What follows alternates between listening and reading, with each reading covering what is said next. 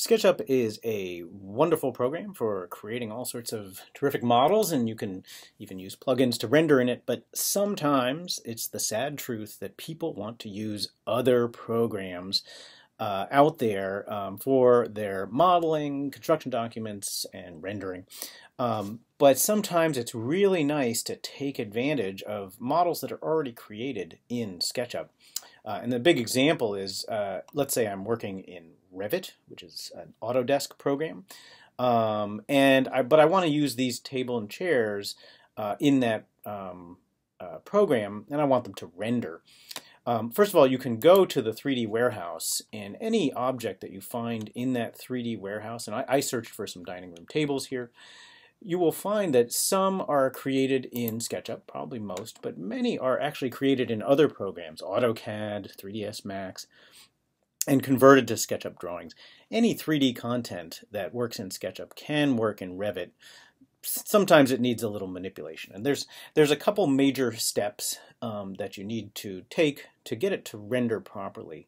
First, preparing the model in SketchUp is, what you need to do, putting things on proper layers and removing all paint.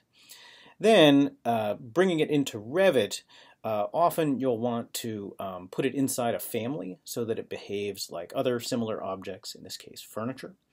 And then in Revit you uh, can't paint it the, the kind of normal way um, using uh, the Apply Materials button. You'll need to use something called the Object Styles. So let's go through those uh, steps here. First of all, um, preparing the model, I like to get rid of any extraneous objects. Okay, so there's the scale figure. I'll delete him. Um, you might also want to view any hidden geometry and see if there's anything hidden in your uh, model. Um, and this is particularly true when you get things off of 3D Warehouse or FormFonts is another uh, source for uh, great models. Um, sometimes people hide things that um, you, you, you, don't want to see, uh, and that will surprise you when you get to Revit. Anyway, um, the next thing that you'll want to do is um, create a couple of layers representative of the different materials in the model. Um, every material in this model, it, it, won't translate when we get to Revit, so you'll need to put um, objects that you want to be a specific material on a layer for that material. And I'll just create a, a few here for the different materials that are uh, visible. Um, black lacquer is one. Uh, I'm going to go with uh, maybe beige lacquer um, for uh, the other one, and I'll just call the last one fabric probably don't need to be any more specific than that. And then you need to put these objects on those layers. And the way that you do that, you double click, oops, use the select command and double click on an object. And often you have to kind of drill down to find the original object. So for example, if I want to put this seat back onto um, the uh, black lacquer layer, see how I've selected the component and double clicked on it to edit, but there's a subgroup within this. And you can keep going and oh, now there's a component that's inside the group. Go to that. Oh, here's a group that has this uh, seat back. Need to keep drilling down. Oh, there we go. I can finally get to the point where I'm selecting the seat back. I've hidden the rest of the model, by the way, just for clarity um, you can see that um, it uh, brings up the uh, entity info here. I've, I've, opened the entity info dialog box. I can just choose the black lacquer layer, okay, um, and uh, exit out of that element. I can go to the next element, paint it, or sorry, uh, change its color to, um, uh, what did I say this is? Oh, this is black lacquer also, okay. Uh, and these guys are fabric. I can triple click on these objects, by the way, to change their layer to fabric. Okay. Um, and oh, this one too. There we go. Layer fabric. And what are we missing? Oh, we missed the table, right? Go to the table. This guy here is looking like it's going to want to be the beige lacquer. This guy here is going to want to be the black lacquer. A little tedious. Make sure we got all the elements here. Beige lacquer, right? So there we go. And you might say, how do I know that I got everything? Well, there's a little trick. Um, you can force uh, SketchUp to color by layer. And when it does this, the colors that you see are going to be representative uh, of the layers. And of course, uh, some of these look a little similar. So let's choose, uh, I don't know, let's choose brown or something. Oh, I like going to the crayons on the uh, Mac version. I don't know why I think that's kind of funny. Um, just close that, go back and color by layer, and you should see um, a nice uh, colorful scheme here. Okay, now that's step number one of many in preparing the model. The other thing that you need to do is all objects need to be on, uh, need to have no paint on them whatsoever. What I like to do, and this may not be the best modeling practice, but um, I find that it's the only way that I can be assured that everything is painted correctly, is I basically explode this model until it's all the way back down to its constituent parts. Now if you're in the middle of design, and uh, you're still um, creating uh, components and modifying the design, um, I would not recommend doing this. Um, I would save a copy of this model and um, uh, uh, explode everything in that one because you, you know you don't want to mess up your um, uh, model. Uh, the, those groups and components are, are really there to help you model. But anyway, keep exploding until there's nothing left to explode. I use Command A or Control A on a PC to select all the objects. Um, and right now you can see their material is, um, there's a little question mark, and, and that basically is SketchUp's way of telling you that they're painted um, different materials. You can actually uh, just double click on the um, uh, default material, and it uh, should, in theory, make those the default material. All right, except on coloring by layer. Let's stop doing that. They should all turn white. You can also select all the materials, uh, all the objects, use the paint bucket, choose the default color, and dump paint on them that way. So now I have this lovely model. It has no groups in it. Nothing is painted, but it is um, set up so that the layers, uh, the materials are on different layers. Uh, what you'll do, save this model um, so that you can go back to it in case something goes horribly wrong. But then what you'll want to do is export this model as a uh, 3D model. And uh, oh, let me just close some of these windows here. And just make sure that you choose AutoCAD file. And of course, you'll want to save it into a folder that um, makes sense for your project. Um, also, you'll want to check the options. There are a number of things that you can export.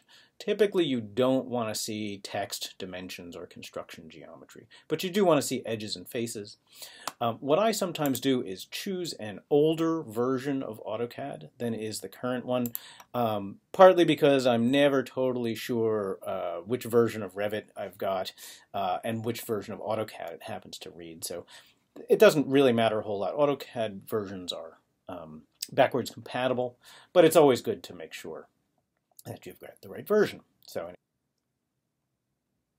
so here we are in Revit, and we want to bring in this wonderfully prepared um, model from SketchUp. Uh, you could uh, start a new project and uh, just uh, import it into a, a new project directly. Um, that works fine, and actually the, the process um, for applying materials works the same. I'm going to put it in a family though, just because I want to have the control to say put this in a um, uh, a chart, uh, you know, a schedule. Um, I want to be able to override materials and different views if, if it uh, becomes necessary.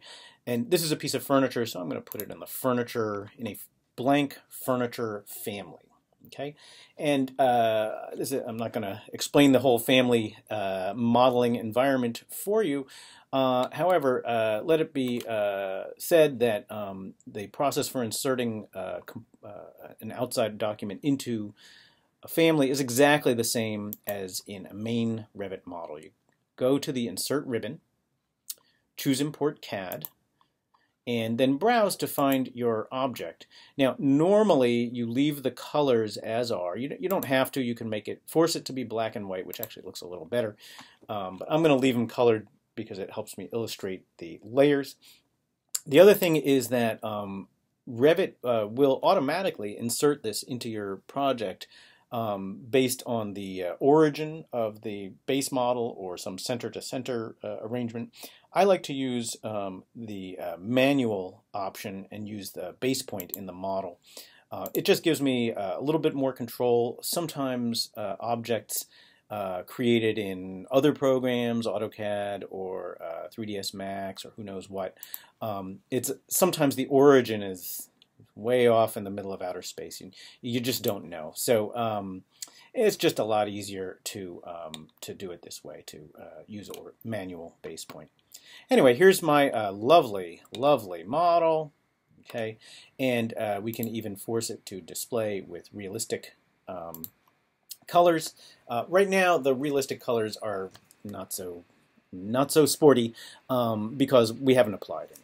So what you need to do, uh, and again, this process is the same if you're in a family or if you're in a main model and you've inserted SketchUp content, um, is uh, rather than uh, go to the Modify ribbon and click on the Paint bucket and start painting away, um, we can't do that. What we need to do is go to the Manage ribbon and click, click on Object Styles.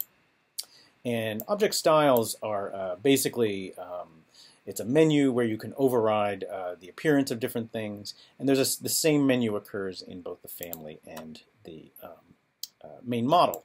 And uh, what you'll see, first of all, there's a whole tab for imported objects here. And if you have multiple families in the same uh, component, uh, you'll see them all listed here. You'll also see the layers that we created way back when, when we were in SketchUp. Okay, and in theory, anyway, these will uh, correspond to the materials that are in this model. Now, uh, it also includes layer 0, which is the default layer in SketchUp. The weird thing is it does apply a render material, but this is actually just the color that it was painted, the layer was painted in SketchUp. Uh, if you have the RGB color chart memorized, that is the RGB color that is represented here uh, on the tabletop. Anyway, uh, it, like um, uh, other menus in Sketch in uh, Revit, you can find the little I'm I've got a menu under here button. It's uh, three little dots. Click on that, and it brings up our wonderful material browser. Okay, now uh, this material is called Render Material 76 uh, 38-0. Well, first of all, we can change that. I'm going to call it underscore uh, beige lacquer. I think that was the, which one we're working on here. Um, and uh, you can even, um, you know, change its uh, class here if you wanted to uh, change it to paint or something like that. Um, I uh, generally use the render appearance for the shaded graphics, um, just because I often run things in shaded view, not um, uh, realistic view. I find my computer runs a little faster that way. Then on the appearance uh, tab, um, well, you know, this doesn't really look all that exciting right now. Um, what we can do is uh, go to the uh, asset library and see if we can find um, some uh, lacquer. I think there's some, oh, here we go, white lacquer. Lovely. Just double click on it to uh, add it to the material. And you can change any number of features, you know, the glossiness and the, the ref reflectivity. Um, uh, as you see fit in the appearance. And hopefully the shaded appearance will change. Um, and you can see here in the list, I typed underscore beige lacquer, so it was easy to find. Click apply, and OK. And you see how the tabletop color has now changed.